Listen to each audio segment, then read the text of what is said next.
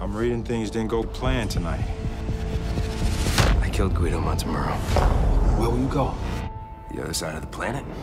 They are looking for you. The only way you're gonna survive is stay undercover. Has anybody in here seen God? Stop looking for God to give you something and go take it for yourself. Good morning, Father. Reverend Mackenzie Boyd will be a lightning rod for this town. All I'm trying to do is my job. Church is going to be shut down. You don't get those numbers up, you can say goodbye to your fake minister gig. Maybe mistakes are the whole point. They allow us to forgive. You should be careful. People might actually start to like you.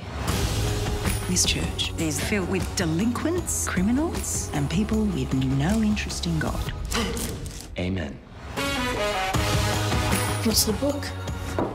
Spoiler alert, he dies and comes back.